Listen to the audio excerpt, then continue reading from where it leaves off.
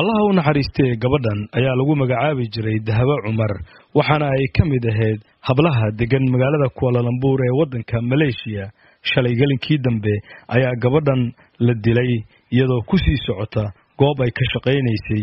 Si aan wax badan uga ogaado waxaan la xidhiiray maxamuud cabdulaahi bile oo ka mid ah ardada wax ka barata maleeshiya waxaana uu iga warramay dilka gabadhan iyo sida uu dhacay. Wallahu naxariisi dahabo waxaa dilay qofay meesha ka wada shaqaynayeen ninka waana nin qofka dilay wuxuuna ka soo jeedaa wadanka ciraaq maqaaxidaasina ka wada howlgelayeen.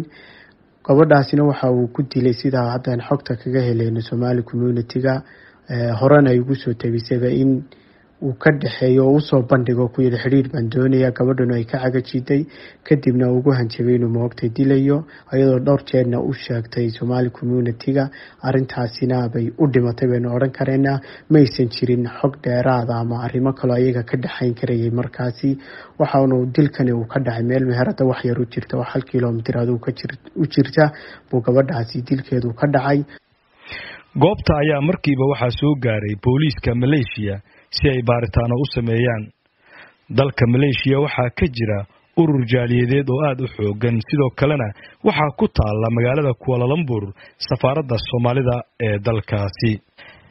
Amaal maxamed siciid hogaamo oo ah siihayaha safaaradda soomaalida ahna qunsulka safaaradda soomaalida ee dalka maleeshiya ayaan weydiiyey.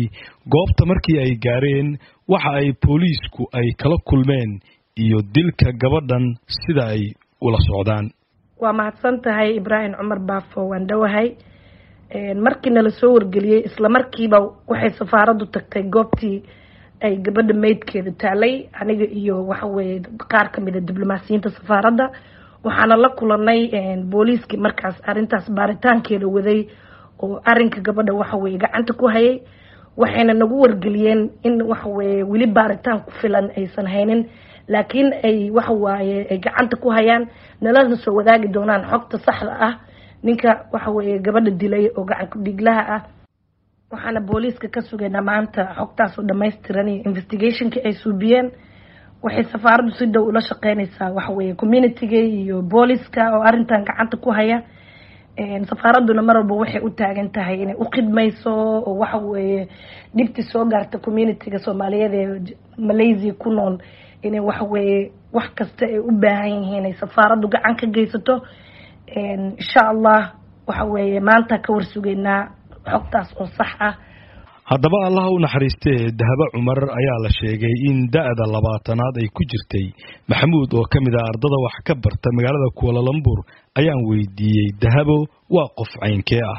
Dahabo cumar allaha u naxariisto waxay ahayd gabadh dhalinyaraa oo da-da labaataniyaadka ku jirta.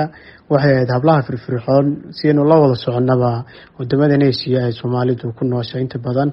Waxbarasha iskaga yimaadaan shaqadu aada bay u adag tahay marka waxay dadka farakuturiska ee ka shaqeeya meelaha marka ay soomaalidu acceska u leedahay sida maqaaxiyaha ama meelaha laga cunteeyo soomaalidu ka yar shaqayso gabadh bayna ahayd asturan aan dadkaana dhexgelin sababteena u dhimatayna waxayba ahayd sidaynu marka horeba sheegnay inay xidhiir ka diiday ama qofka ajaanibka xidhiir moogtay la samayso si aan kuley wararka hadda ku helayno. Marka waxay ahayd koley gabadh shaqaysata da-yar oo gabadh aada u da-yar bay ahayd. In muddo aana ku sugneyd oo maleeshiya joogtay weliba caasimada cololabor somali refugigana ka mid ahayd oo hoos tagtaa ilaa iyo hadda booliiska si cad uma sheegin. Heybta qofka dilay gabadhan inkastoo dhalinyarada soomaalida ee wax ka barata maleeshiya ay aaminsan yihiin in ninkaasi uu ahaa nin doonayay in gabadhaasi uu xiriir qasab ah la sameeyo balse iyadu ay ka biyo diiday